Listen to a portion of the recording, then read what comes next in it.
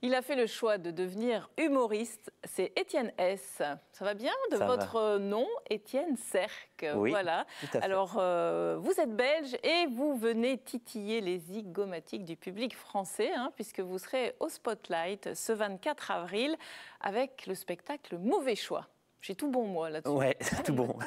J'ai plus rien à dire, en fait, je, je peux y aller. 24 avril au Spotlight à Lille. Euh, vous êtes en forme, Étienne? Super, une patate d'enfer. Une patate d'enfer, bah, ça tombe bien parce que vous allez devoir nous parler de ce spectacle Mauvais choix. Est-ce que c'est vous qu'on retrouve, c'est vraiment euh, votre, votre histoire qu'on retrouve sur scène? Oui, c'est toute mon histoire. Et je pense que je fais des mauvais. Je pense qu'on fait tous des mauvais choix. hein. Mais vous, c'est particulier. Mais je pense que je le fais mieux que les autres. Avec le temps, j'ai réalisé que bah, tu as tout le monde qui suit un, un chemin et puis le mien est, est chaotique parfois dans, dans mes choix. Mais le, vous avez fait le bon choix d'être humoriste quand même. Ah oui, oui. Rassurez-nous. Ah non, non, non, mais, mais ça, ça, ça se passe de mieux en mieux, c'est Ouais. super. Je joue de plus en plus, donc je pense que j'ai fait le bon choix. Ouais. Mais euh, oui, oui, donc je parle. C'est pour en arriver à, à ça, quoi. On se dit que vous avez fait des choix, on se demande pourquoi, c'est ça Ben oui, par exemple, je, je- je- je dis dans mon spectacle que je suis, musicien professionnel, ce qui est le cas, et puis je suis humoriste professionnel. Ben, quitte à avoir un métier qui rapporte pas d'argent, ben, pourquoi pas en avoir deux Ouais, ça fait Hein plus d'argent quand même. Oui, c'est vrai.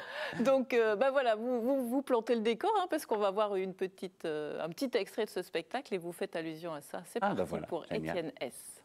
C'est vrai, moi dans la vie, je suis musicien professionnel. Ah, je suis humoriste et musicien professionnel. C'est quitte à avoir un métier qui rapporte pas d'argent. Hé, pourquoi pas en avoir deux?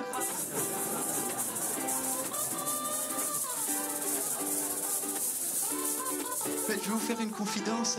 Ça sert à rien Il n'y a aucun professionnel de Maracas qui a réussi à séduire une femme après un concert parce qu'il avait bien joué. Ça, le professionnel de Maracas, il s'en fout. hein, parce qu'il a développé ce qu'on appelle un excellent coup de poignet. Ah, on a même inventé des techniques, c'est la toupie espagnole, la mitrailleuse chinoise.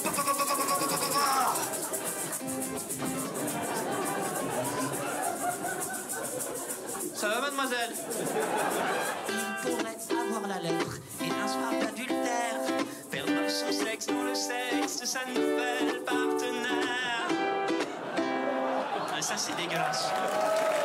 Mais c'est possible.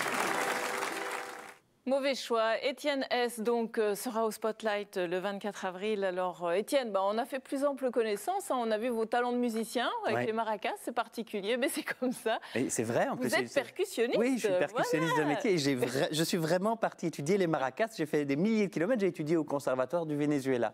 Ouais. Donc, euh, à l'époque où on pouvait encore aller, parce que là, pour le moment, c'est compliqué. Mais euh, oui, oui, je suis parti pour ça. Alors, ça paraît complètement fou, mais c'est vrai. Voilà. Mais vous êtes un peu dingue peut-être, non? Mais je pense, en fait, je, je- en tout cas, je l'assume de plus en plus. Il y a un bien, moment, euh, je crois, quand j'ai dit à mes parents que je partais faire des maracas au Venezuela, ils, ils ont pleuré pendant quelques nuits.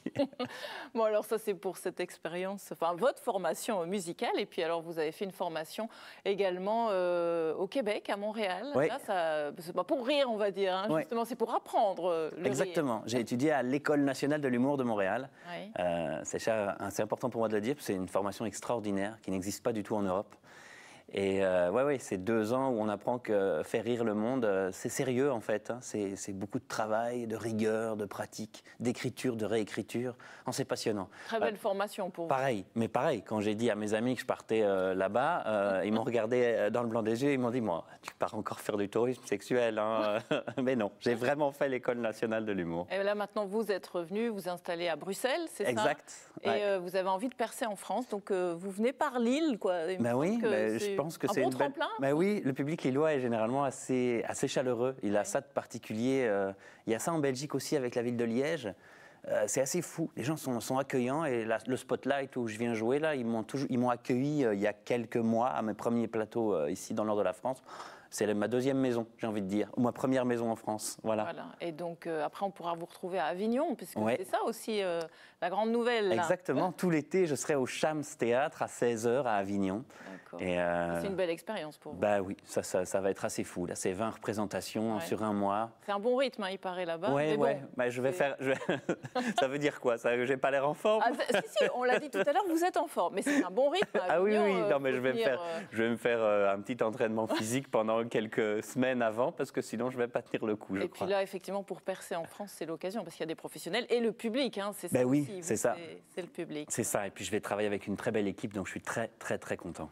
Eh bien, génial. On est ravis, Étienne, de vous avoir re- re- reçu aujourd'hui. On rappelle la date, 24 avril au Spotlight, et puis à Avignon, tout l'été, si vous passez par là. Merci Voilà. beaucoup. Bonne chance. alors. Merci à vous.